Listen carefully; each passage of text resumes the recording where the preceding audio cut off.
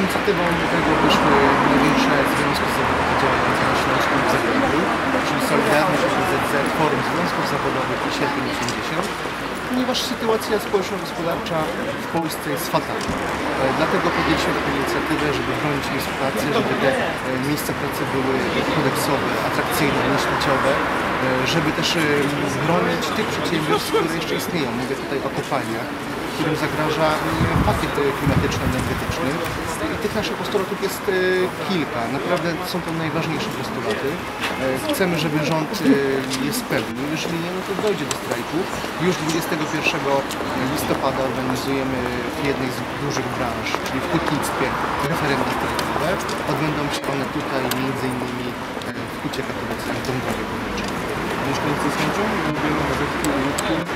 I tak z chęcią no i największym naszym atutem, jak e, mówią mieszkańcy, jest to, że w końcu doszło do porozumienia e, ponadzwiązkowego, że wszystkie związki zawodowe, największe związki zawodowe działają razem, nie kłócą się, tylko chcą e, działać na rzecz e, pracowników. Nie obawiacie się jakichś zarzutów w kwestii gazety? Nie, akurat sytuacja jest taka, że naprawdę sytuacja społeczna to jest sytuacja y, skrajnie, skrajna i skrajna jest y, ta okładka naszej gazety, ponieważ y, państwo Donalda Tuska y, jest nawet, mogę powiedzieć, gorsze niż państwo Hitlera. Wtedy jednak pewne zdobycze socjalne otrzymywano. Dzisiaj nie, dzisiaj nam się podwyższa wiek emerytalny, każe nam się pracować aż do śmierci i ludzie będą w tych zakładach pracy umierali. To jest holokaust, tylko że nie fizyczny, ale ekonomiczny. Nie dzisiaj Sosnowiec, jakie kolejne miasta?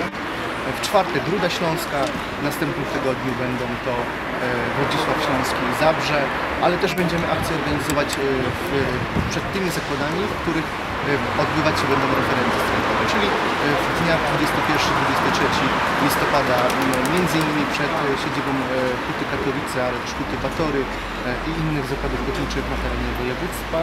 Później też jest kolej 26-30 listopada. E, Również będziemy tutaj w większości miast e, nam, nawoływać e, tym razem pracowników do poparcia e, strajków referendum, żeby, żeby te referenda w danych zakładach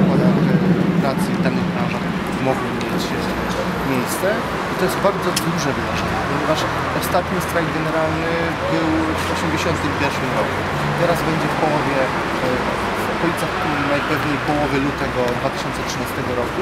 I to jest naprawdę historyczne wydarzenie. Po pierwsze, dlatego, że organizują go największe związki zawodowe mm, e, wspólnie, a po drugie, że to będzie strajk generalny, którego nie było 32 lata.